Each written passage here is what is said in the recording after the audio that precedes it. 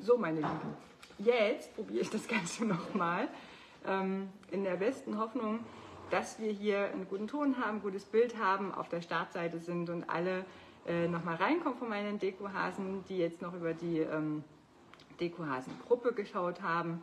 Einfach wieder auf die Startseite. Lara ist die erste. Das hört mein Bodo. Lara ist die erste, die wieder reinkommt. Willkommen bei stylium.tv. Es geht heute um die trendigen Herbstdekorationen und alles, was wir Neues haben, unser Style Sunday, unser Wochenangebot und die tollsten Herbsttrends. Es ist alles jetzt da, just in time, Ende August. Wir können also September, Oktober ähm, bis zum halben November hin äh, schön noch die Herbstdekoration dekorieren. Dann klatschen wir ab mit Weihnachten. Und ähm, so, bei mir ist alles top. Vielen Dank, liebe Lara. Hallo, Carola. So, Katja auch da. Da sind wir wieder, sagt Andrea. Kuckuck, Manuela. Ja, jetzt passt es doch besser. Jetzt äh, sollte man auch äh, den Hinweis bekommen haben, jetzt ist alles okay, sagt die Bärbel. Sehr schön, Angela wieder da. Sandra, Hallöchen. Ja, das war jetzt ja merkwürdig. Hallo, liebe Ingrid. So, aber da können wir einfach die schönen Sachen nochmal mehr genießen. Ist doch auch nicht verkehrt, oder? Ja, klappt doch prima. Danke, Ulrich. Sehr schön. Hallo, Daniela. Wunderbar, wieder da. Dann gehen wir und sagt doch mal, ob ihr auch die Farbe wirklich als diesen Purple Fuchserton erkennt. Bei euch ähm, auf dem Handy oder auf dem Tablet oder wo auch immer ihr gerade reinschaltet, ähm, seht ihr das auch, dass das äh, wirklich ein Beereton Himbeer-Brombeer ist. Ich das durch mein schönes, schönes Herbstbild hier hinten, alle so ein bisschen in, in rot-orange eingetaucht ist, weil es tatsächlich ein Himbeer-Brombeerton, richtig bärig, ein Purple, so ein Mix zwischen Fuchsia und Lila. Richtig, richtig geil, so super mega aus. Also passt zu den ganzen Herbststreuseln, alles, was ihr in Beere euch schon geschnappt hat, was ja schon ausverkauft ist. Aber das Gute ist, so spart man im Prinzip sukzessive natürlich. Wir haben sehr früh angefangen mit der Herbstdekoration. Ihr habt euch die schönsten Sachen schon geschnappt und alles, was in Beere was ihr euch da gegönnt habt, passt hier perfekt. Ne? Darauf habe ich natürlich geachtet. So, die Farbe ist super, aber ich muss mir die Bestellung noch etwas warten. Irene, alles zu seiner Zeit, genau. So, Kerstin, könntest du bitte mal einen Pilz in Dunkel dazustellen? Habe ich mir auf jeden Fall auch mitgenommen, weil es nämlich sehr, sehr gut passt zusammen. So, das passt auf jeden Fall. Ich habe ja meine Pilzchen hier unten und natürlich, ich nehme mal den ich nehme mal den großen. so. Wenn man das hier so, vielleicht vom, vom Licht her, hier sieht man natürlich durch den Glanz, das auch sehr gut ist, ist vom Goldton tatsächlich auch exakt gleich. Ja, das ist dieser goldene matte Ton, ist auch derselbe Lieferant. Also da könnte man das sehr, sehr schön zusammen ähm, kombinieren. Also wenn es sollte bei euch im Bildschirm farblich irgendwie Abweichungen geben. Im Original passen die hundertprozentig zusammen. Ja? Da könnt ihr euch auf mich verlassen. Das ist ein schöner Samtton. Ja? Ein schöner, also es ist ein Samtmaterial. Samt. Und dann hier dieses schöne Glänzende mit den Pailletten. Aber genau eben in dem Ton. Das ist praktisch der dunklere, noch dunklere Ton von diesem Pilz. Passt exakt. Perfekt, danke, bitteschön, Kerstin. Also hier, der Großpass auch gut, warte mal. Ja, das ist so ein bisschen schräg. Hier zum Beispiel.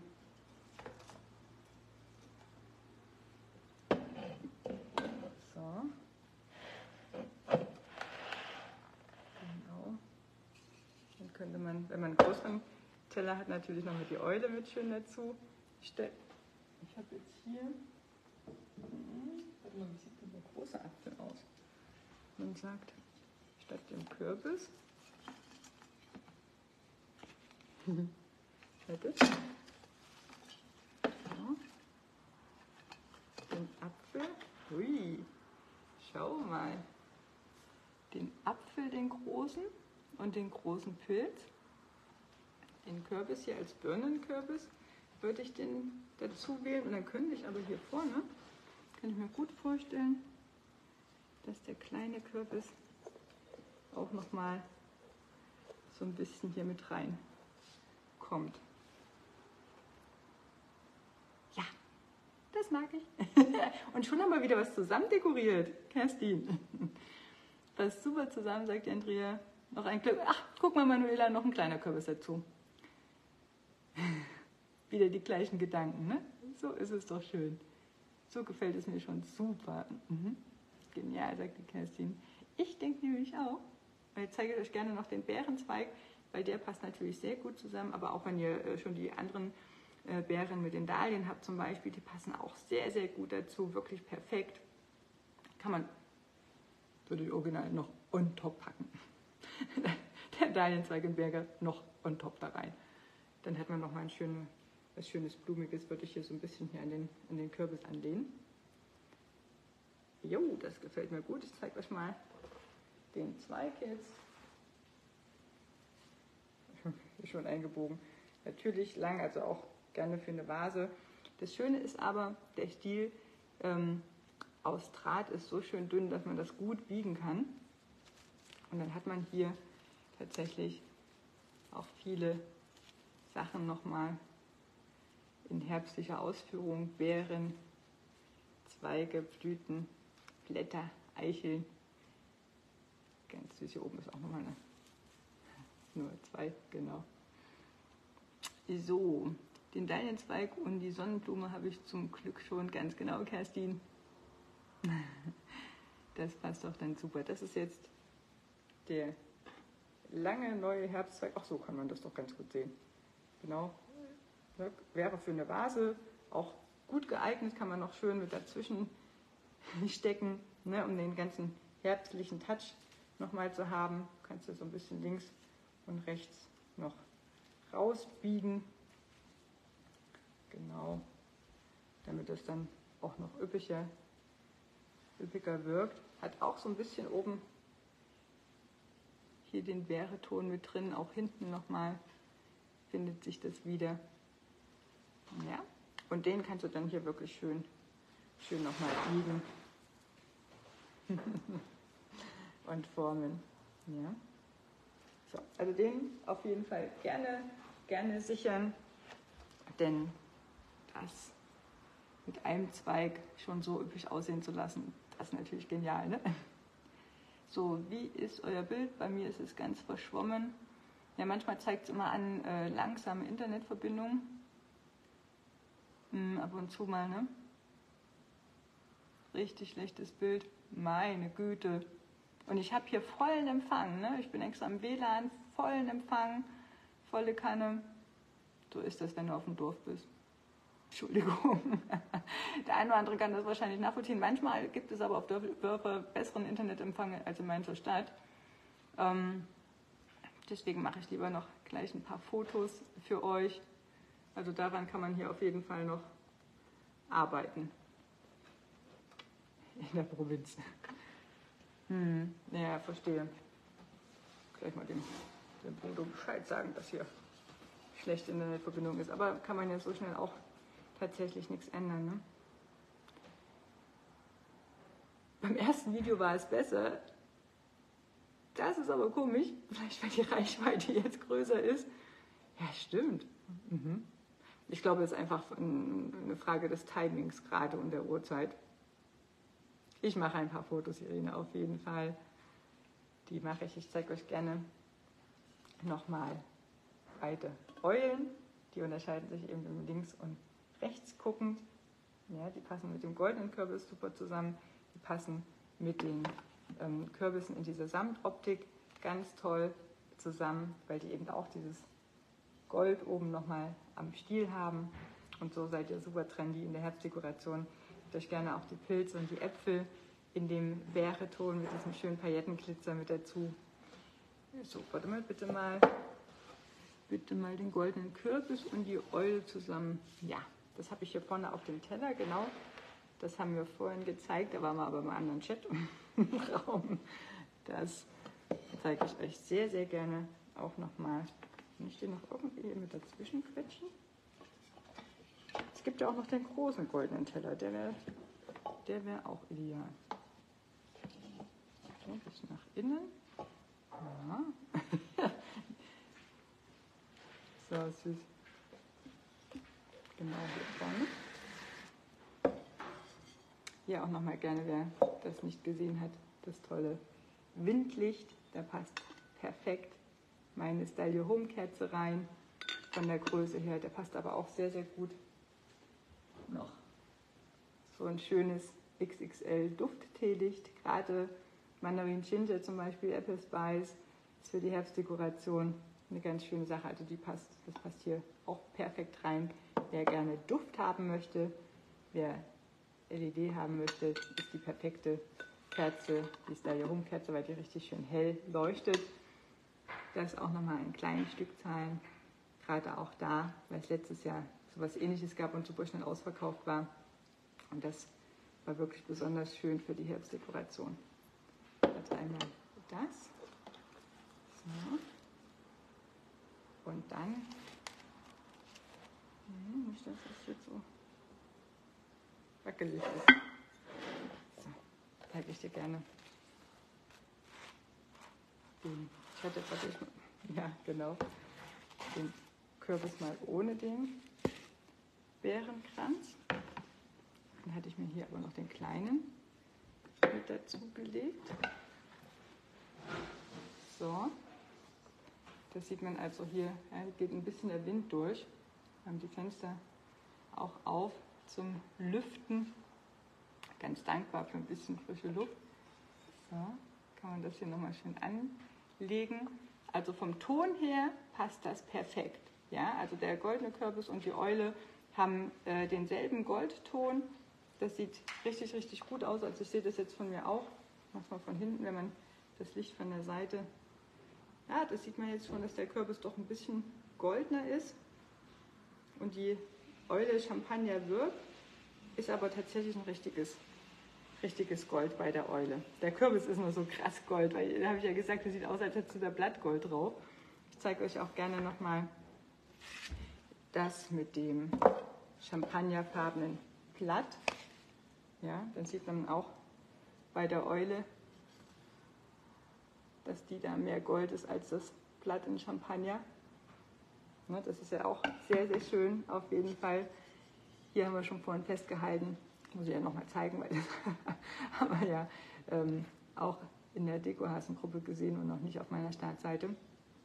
Dieses schöne Herbstblatt, was ideal ist, um auch ein paar gesammelte Eicheln und ähm, ja, äh, Kastanien draufzulegen, ein paar Linderkugeln natürlich schön draufzulegen. Das ist toll, auch mit dem Windlicht. Dann würde ich aber unten drunter noch ein paar Dekosteine packen, damit es steht zwar drauf, aber damit es auch richtig stabil drauf ist, weil unten noch ein bisschen Luft wäre. Sieht aber auch sehr, sehr schön aus zusammen, finde ich. Ansonsten kann man auch sagen, man macht jetzt nur eine Style Your Home Kerze und man macht vielleicht auch hier das schöne, und so ein bisschen rüberrutschen, das schöne Tischgesteck in Gold. So, bisschen gerade, genau. Das finde ich auch ganz, ganz süß. Zu dem Blatt ne, eine Kerze und noch das, die Tischdeko mit der Rose dazu. Da würde ich natürlich aber auch die LED-Kerze in Gold nehmen. Ne? Das, ist, das klar, kann man noch ein bisschen sich einbiegen. Das ist auf jeden Fall auch eine schöne, schöne Deko-Idee zusammen.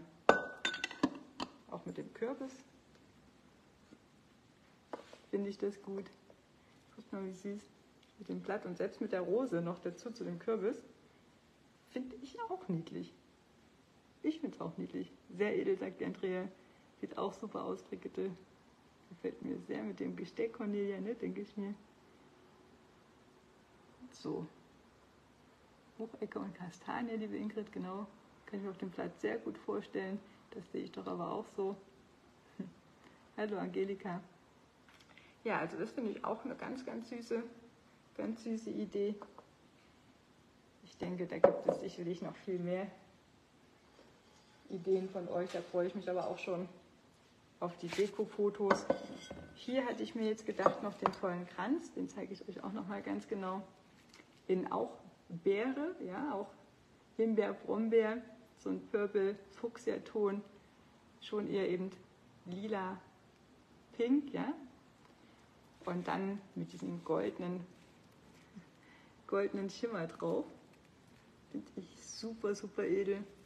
Ganz toll. Also glatt von der Rückseite, dass er auch schön auf dem Tisch gerade steht oder so auf der Wand oder auf dem Teller. Und dann hatte ich den hier nämlich auch auf dem Teller und den Kürbis so ein bisschen auch angeschrägt. Dann kann der kleine hier nämlich auch schon den wobei den kann man mal gerade stellen. Und den kleinen Kürbis da unten ein bisschen schräger. So war der Teller gemacht. Mit einer schönen Deko und Dankeschön. Das finde ich auch. Dann passt nämlich der Kranz extrem gut auch zu den Kürbissen. Die Kürbisse haben einen goldenen Stiel, dann passt auch wieder der große goldene Kürbis und auch die Eule in Gold dazu. Das ist, wer gerne ein bisschen mehr Beere haben darf, sehr, sehr schön zusammen. Ja. So. Hallo Monika, Alexandra, grüßt euch, schön, dass ihr auch dabei seid. In den neuen Trend Farbenbeere für die Herbstsaison. Es ist jetzt auch alles da, alles im Shop, was ihr zum Herbst bei mir finden dürft. Die schönsten Sachen, die schönsten Trendsachen und äh, alles gut miteinander kombinierbar. Gefällt dir sehr gut, Irene? Sehr schön. Ja, ich finde es auch süß. ich finde es auch süß in der Kombination. Hier nochmal gerne auf alle Größen von dem Muskatnusskürbis. Puh, da muss man aber auch ordentlich jonglieren. So, genau. Kann man auch so schön zu dritt hinstellen ne? oder vielleicht auch noch mal hier so ein bisschen anlehnen. Material, wie gesagt, ist Samt, ganz kuschelig.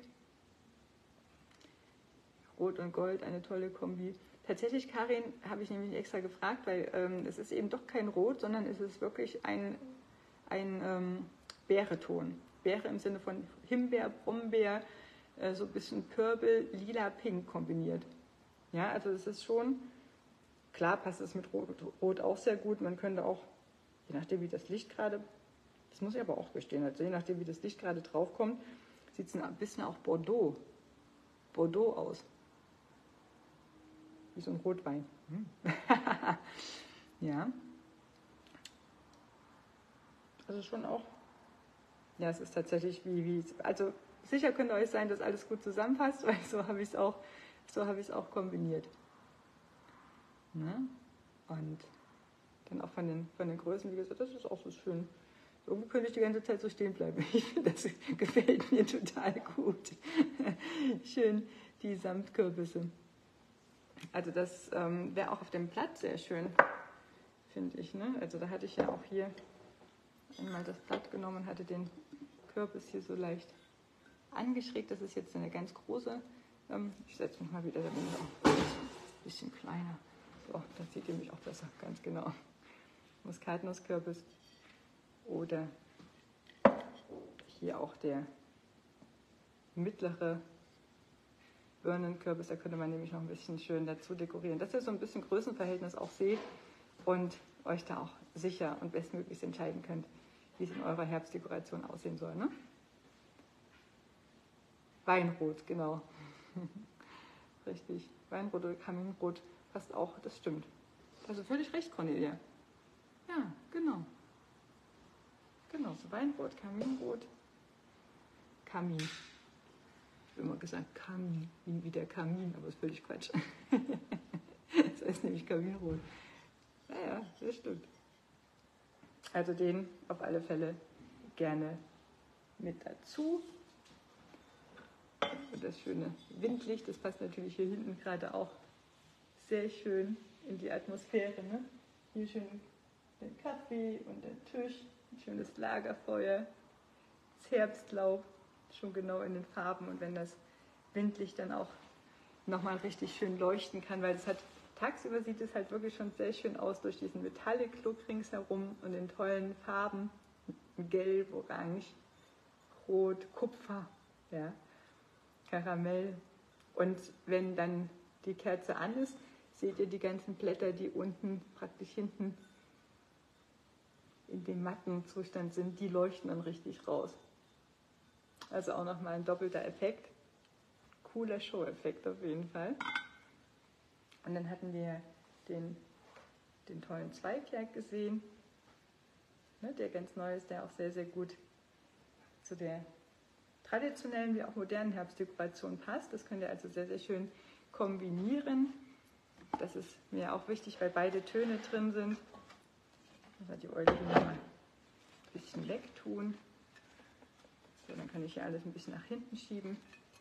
Nochmal den kleinen Kürbis dazu, genau, weil uns das so gut auch gefiel zusammen. Ein bisschen reinlegen. Genau das jongliere ich doch nochmal Richtung Kamera. So, das finde ich auch toll. Sehr schön, Cornelia. Mhm. Da seht ihr auch nochmal äh, die tollen neuen Pilze und Äpfel. Die gibt es auch in dem Mintton, im Mint aber auch schon fast ausverkauft.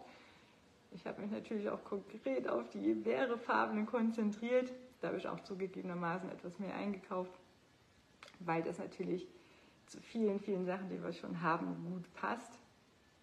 Und äh, da habe ich dann den großen Pilz und den großen Apfel mit den Glitzerpailletten. Ich zeige das gerne für diejenigen, die das noch nicht gesehen haben.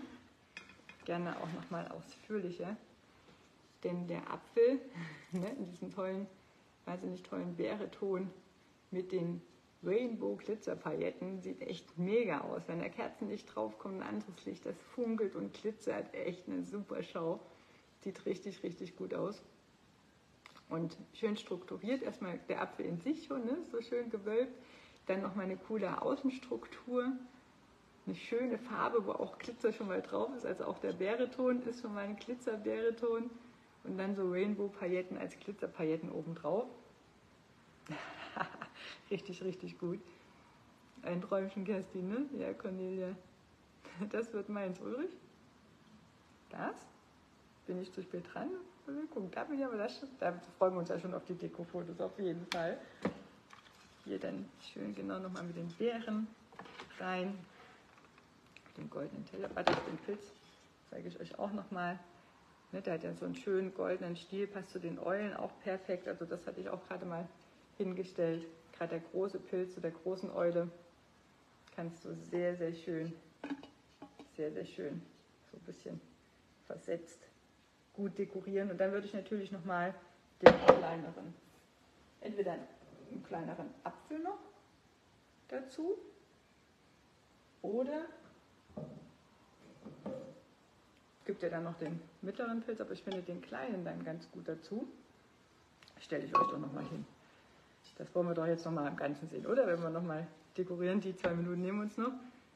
Die rosa Pilze auch da. Die hellrosa habe ich nicht mitgenommen, ähm, liebe Daniela. Tatsächlich, weil die dunkleren fand ich jetzt passend zu den, oder etwas passender zu den ähm, bärefarbenen Kürbissen. Deswegen habe ich mich dafür entschieden. Die hellen gehen aber auch, ja, auf jeden Fall. Eine, eine Farbrange, ähm, aber noch besser passen halt die dunklen, deswegen habe ich mich dafür entschieden. ja. Aber nimm gerne die hellen, es wird sehr, sehr gut aussehen und ich freue mich da auf deine Deko-Fotos auch. Hier gerne nochmal ist das so gezeigt. Ja? Und dann gehen wir doch mal her und dekorieren nochmal neu zusammen. So. Mhm. Da haben wir die Eule. und den Pilz. In groß. Und nochmal so ein bisschen in klein. Ach, guck mal. Findet ja auch noch sein Plätzchen hier, ne? Kennen wir doch nichts. Immer drauf damit. Da würde ich hier sogar noch ein bisschen, weil der Teller so eine leichte Innenwölbung hat, ein bisschen mit Dekostein wieder begradigen, damit der, der Kürbis doch gerade steht. Und dann gefällt mir sogar noch besser. Gefällt mir sogar noch besser, weil ich die Eule so geil finde. kann mich nicht entscheiden. Daniela, ganz genau. Das habe ich mir auch gerade gedacht.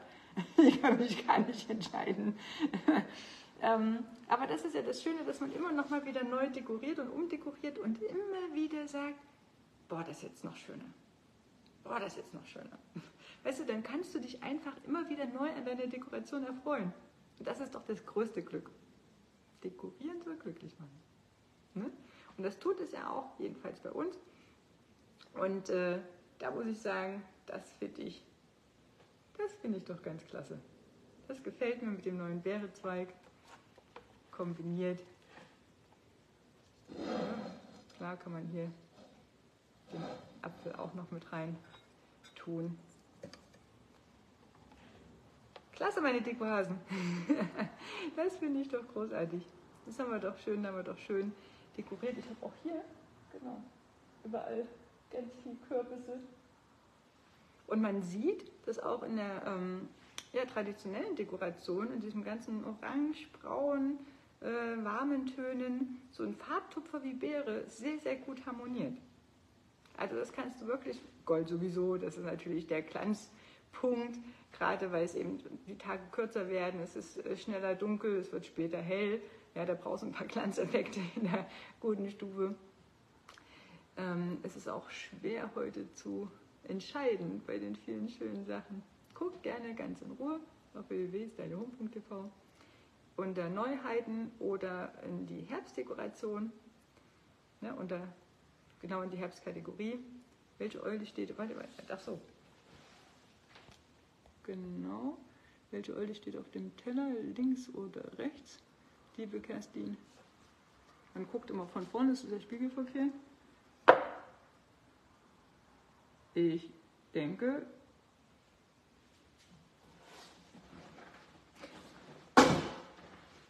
war links guckend oder rechts guckend. Die guckt links und die guckt dann rechts. Dadurch, dass ihr spiegelverkehrt seid, ne, ist es natürlich aber immer ein Thema. Letztendlich musst du dann einfach rumdrehen. Also die hier, die ich habe, die sozusagen mich anguckt, ist links guckend links guckend. Für euch rechtssehend, ne? das muss man erstmal auch, ja Kerstin, das war echt ein guter Hinweis nochmal, dass man das auch checkt, ne? weil ihr seht ja jetzt alles spiegelverkehrt ne, auf Facebook und du kannst auch die Kamera nicht umdrehen, also das habe ich ja schon alles probiert. Das geht bei normalen Videos, aber es geht nicht bei Facebook. Deswegen äh, denkt dran, dass ihr spiegelverkehrt seht. Das heißt, die, die ich jetzt in der Hand habe, Sieht für euch wahrscheinlich rechtsguckend aus, ist aber die ist linksguckend. Ich hoffe, ich konnte dir weiterhelfen. ja, es ist, äh, ah, ja. ja. Ja, und du guckst rechts. So, so ist das. okay, ihr süßen Dekohasen. Dann äh, sehen wir uns das nächste Mal am Mittwoch wieder um 19 Uhr. Ich freue mich, dass wir jetzt auch geswitcht sind von einer Runde zur nächsten Runde aus der Deko-Hasen-Gruppe live. Dann wieder auf die Startseite bei äh, Style Your Home bei Facebook. Die Eulen sollen Innenseite vom Teller schauen. Mhm. Der guckt die andere aber auch, guck mal. Die gucken immer auf die Innenseite zum Teller, beide. Je nachdem, wo du sie stehen hast. Jetzt siehst du mal beide. Die gucken immer zur Innenseite des Tellers. Das ist ja wichtig, weil die sollen ja eben die Deko anschauen. Also völlig richtig kombiniert. Die sollen die Deko anschauen auf dem Teller drauf. Und deswegen gucken beide auch, je nachdem, ob du sie links oder rechts stehen hast. So. Besser kann ich es nicht beschreiben. So, liebe Monika, hallo Steffi, äh, einen schönen, tollen Sonntag wünsche ich dir auch. Gut zu wissen, Brigitte. Ja, das, guck mal, das ist, doch, das ist doch klasse, dass wir da nochmal, ich packe mal die andere hier da vor.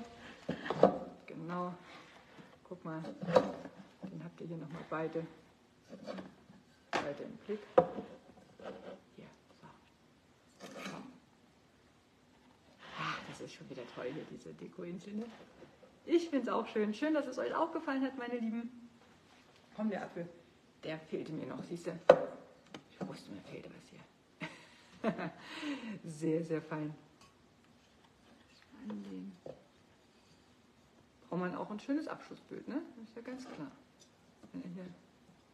Ja, schönes Abschlussbild haben. Liebe Carola, schönen Sonntag wünsche ich dir auch und eine schöne Woche. Mein Problem gelöst. Super, Brigitte.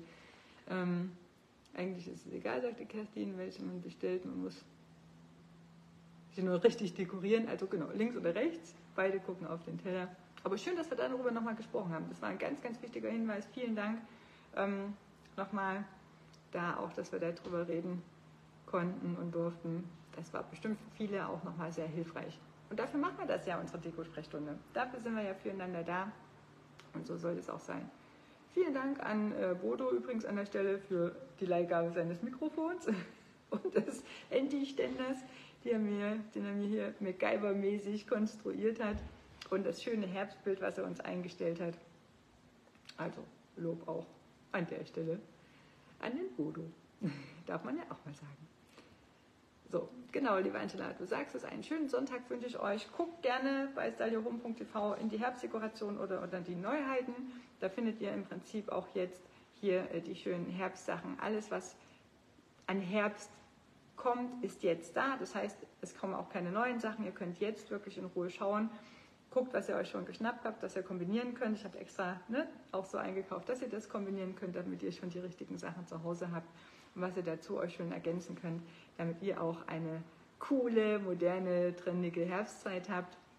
Euch erfreut an eurer Dekoration selber, ja, aber natürlich auch gerne die tollen Blicke genießt von den Nachbarn beim Spazierengehen, die an dem Fenster vorbeischauen, von der Familie oder der Nachbarin, die zu Besuch kommt, mal zum Kaffee oder zum, zum Essen oder einfach nur auf dem Pläuschen. Ähm, da freut man sich auch, oder? Wenn man da nochmal große Augen sieht und leuchtende Augen. Also, ah, guck, den Abschluss mache ich noch, weil ich habe gerade gesehen, es gab einen kurzen Break äh, mit der Internetverbindung. Es fehlt nur noch das schnelle Internet. Richtig, genau. das werde ich ihm jetzt mal nur sagen. Gut, meine Lieben, dann einen schönen Sonntag. Ich mache aber noch ein paar Fotos, ne? wegen der schlechten Internetverbindung. Aber schön war's. Ich fand's schön. Tschüss.